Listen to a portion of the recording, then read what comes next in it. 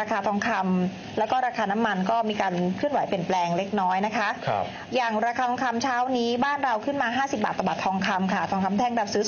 23,750 ขายออก 23,850 นะคะ ส่วนทองรูปพรรณรับซื้อ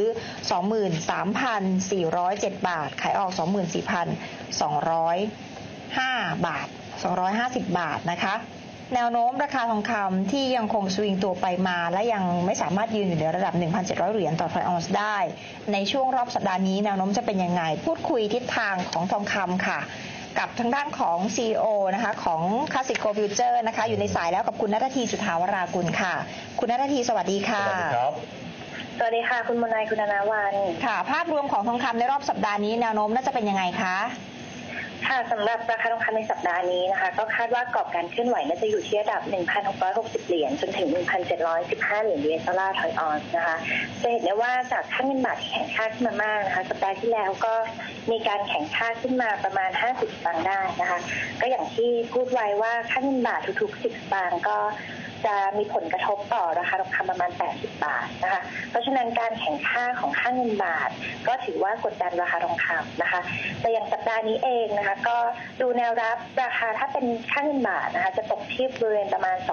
23,500 บาทนะคะ ส่วนแนวต้านจะอยู่ที่บริเวณประมาณ 24,200 บาท ส่วนประเด็นในสัปดาห์นี้นะคะ ก็อยากจะให้ติดตามเนี่ยต้นสัปดาห์ก็จะมีการประชุมของทาง BOJ นะคะจะต้องติดตามดูว่ามีการคาดการณ์ว่าอาจจะมีการกระตุ้นเศรษฐกิจเพิ่มเติมนะคะตรงนี้เงินที่มีการอัดฉีดเพิ่มเติมเนี่ยก็มีโอกาสที่จะทำให้ราคาทองคำมีปัจจัยบวกในระยะสั้นนะคะ แต่ว่าอย่างไรก็ตามตรงนี้นะคะ ก็การที่ค่าเงินค่าเงินเยนมีการอ่อนค่ามีโอกาสที่จะอ่อนค่าก็จะกดดัน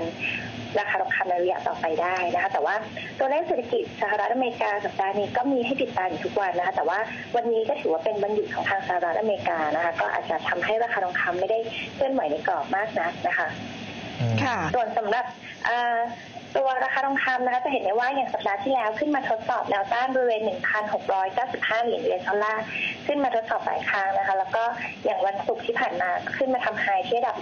1,695เหรียญแล้วก็ถือว่ายังมีแรงขายออกมาอยู่นะคะ แล้วก็ราคาทองคำก็ยังไม่สามารถผ่านแนวต้านที่สำคัญที่ระดับ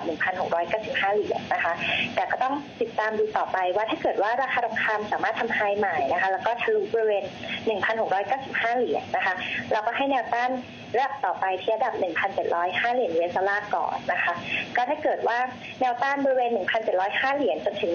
1,715 เหรียญบริเวณนี้ก็ถือว่าเป็นแนวต้านที่สำคัญที่น่าจะยังมีแรงขายอยู่ แต่ว่าในช่วงระยะนี้นะคะ ก็ถือว่ามีปัจจัยสนับสนุนมาจากทางจีนนะคะว่าใกล้เทศกาลตรุษจีนแล้วรวมถึงตัวเลขเศรษฐกิจของจีนที่ประกาศออกมา อย่างเศรษฐกิจจีนไตรมาส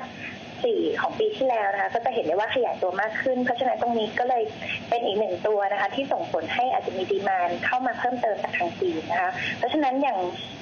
วันนี้ระยะสั้นนะคะ ก็แนะนำนักลงทุนแนวรับของวัน ถ้าราคาทองคำย่อตัวลงมา แล้วก็สามารถสร้างฐานเหนือบริเวณ 1,670เหรียญ US ดอลลาร์นะคะ ก็ยังมีโอกาสที่จะปรับตัวขึ้นไปชนแนวต้านที่ระดับ 1,695 เหรียญ 1,705 เหรียญต่อได้อีกครั้งนะคะ ก็ดูแนวรับของวันที่ระดับ 1,678 เหรียญ 1,668 เหรียญ US ดอลลาร์นะคะ ถ้าเป็นเงินบาทจะตกบริเวณประมาณ 23,700 บาท แล้วก็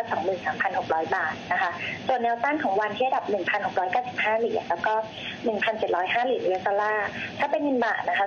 23,900 แล้วก็ 24,000 บาทค่ะครับอันนี้ขอถามเป็นความรู้นิดนึงคุณนัททีครับ ถ้าเกิดว่าค่าเงินบาท 10 สตางค์เนี่ยจะมีผลต่อราคาทอง 80 บาท แล้วถ้าเกิดเป็นราคาทองต่างประเทศเท่าไหร่ถึงจะมีผลต่อราคาทองในประเทศเท่าไหร่ฮะ ค่ะส่วนราคาทองในต่างประเทศนะคะ ทุกๆหนึ่ง US ดอลลาร์นะคะ จะมีผลประมาณ 15 บาทไทย